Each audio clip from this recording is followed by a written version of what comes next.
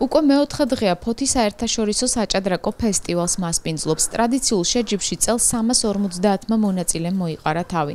თამაშები ორ ლოკაციაზე პარალელურ რეჟიმში მიმდინარეობს. ფესტივალის მთავარ ა ტურნირს ფოთის ნანა ალექსანდრიას სახელობის საჭადრაკო კლუბის სატურნირო დარბაზი B, C, D, ღია და ასაკობრივ ტურნირებს კი დარბაზი მონოპოლი მასპინძლობს. დღეს ორივე ლოკაციაზე იმყოფებოდა ქალაქის მერი. ის ორგანიზატორებს შეხვდა და საჭადრაკო ფესტივალის მიმდინარეობით დაინტერესდა. გახდა. გოჩა კურდღელიამ ა ტურნირში პირველ დაფაზე სიმბოლური სვლაც გააკეთა. მოგეხსენებათ რომ ფოთი ტრადიციულად არის ჭადრაკის ქალაქი და ჩვენ ქალაქში ჭადრაკი მრავალწლიან ტრადიციას მოიცავს და სასიხარულოა რომ ეს ტრადიცია და ის იმ მრავალი ადამიანის შრომა რომელიც იყო ამ კუთხით გატარებული ასახვახბოა და დღეს ჩვენ ქალაქში ნამდვილად საერთაშორისო ფესტივალი ტარდება მეცამეტეს რომელშიც ღებულობს 14 ქვეყნის მონაწილე და 350-ზე მეტი ადამიანი მონაწილეობას და ვისურვებდი რომ ასეთი ფესტივალები რაც შეიძლება პლომატ ყოფილიყოს და ხშირად ყოფილიყოს ჩვენ ქალაქში 4 ტურის შემდეგ ლიდერთა ვინაობა ცნობილია. ა ტურნირში სერგეი მაცენკო სამნახევარი ქულით პირველ ადგილზეა. დღეს ის პირველ დაფაზე ქართულ დიდოსტაც ლევან ფანცულაიას დაუპირისპირდა, რომელსაც სამი ქულა აქვს. Я из Челябинска приехал с семьей, то есть мы как э, семейный отдых и параллельно шахматный турнир сыграть. Играю здесь первый раз, пока нравится, пока лидирую в турнире, неплохо все. Ну, мы в Грузию приехали всей семьей, участвуем в турнире первый раз, решили посмотреть, На Грузию мы были в Тбилиси, сейчас в Поте, потом поедем дальше в Батуми. Э, играем тут я, моя жена и два сына. Ну, сын вот мой, Сергей, сейчас лидирует. Второй сын, Андрей, он два очка, у меня тоже два очка. То есть я очень доволен своей игрой и вообще от турнирной ситуации. ბ ტურნირში 4-4 ქულით საქართველოს წარმომადგენლები დიმიტრი კვარაცხელია და ნიკა ვოლკოვი ლიდერობენ, რომლებიც დღეს ერთმანეთს პირველ დაფაზე დაუპირისპირდნენ. C ტურნირში სამნახევარ სამნახევარი ქულით ასევე ორი ქართველი, სურაბ ლიფონავა და ნოდარ მანაგაძე ლიდერობენ, რომლებიც ერთმანეთს დღეს ასევე პირველ დაფაზე დაუპირისპირდნენ.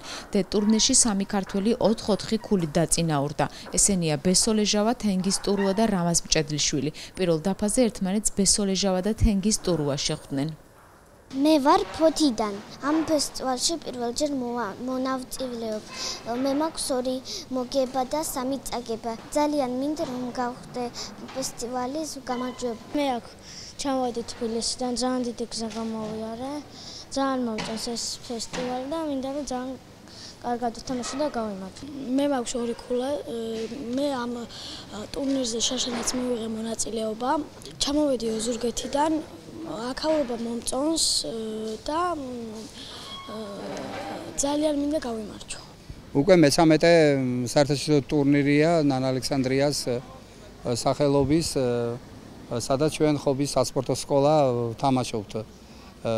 როგორც ყოველთვის ტურნირი სანიმუშო და ორგანიზებული და მასში მონაწილეობას ღებულობენ როგორც საქართველოს ასევე საერთაშორისო მაღალი რეიტინგის მქონე მოჭადრაკეები. დღევანდელ დღეს ადვილი როდია რომ ასეთი წარმომადგენლობითი ტურნირი ჩაატარო და მოიზიდო ასეთი მაღალი რანგის მოჭადრაკეები. რაც შეეხება ჩვენ ხობის სასპორტო სკოლა, რომელიც განთქმულია იმით, რომ ძალიან ბევრი კარგი მოჭადრაკე აღიზარდა ამ სკოლაში, მათ შორის საქართველოსი დღეს ერთ-ერთი საუკეთესო მოჭადრაკე დიანა ლომაია დღევანდელი მდგომარეობით წარმოქმნილია 7 მოჭადრაკით. გვეამაყება რომ ჩვენს საყვარელ ფოც დღეს ასე რომ ვთქვათ ვეწვიეთ 7 მოჭადრაკის შემადგენლობით და ვცდილობთ რომ თავი არ შევერცხინოთ ჯერჯერობით 4 ტურია განვლილი და მეამაყება რომ ჩემი ერთ-ერთი მოსწავლე ნიკა ბუკია 4 შესაძლებლობიდან სამნახევარი ქულით ლიდერთა ჯგუფში იმყოფება. ფესტივალის ფარგლებში დღეს ბლიც ტურნირი გამართა. ფესტივალი 20 ივლისს დასრულდება და საზეიმო ვითარებაში დაიხურება. გამარჯვებულები თასებით, დიპლომებით და მედლებით დაჯილდოვდებიან. ფესტივალის საპრიზო ფონდი წელს 45000 ლარს შეადგენს.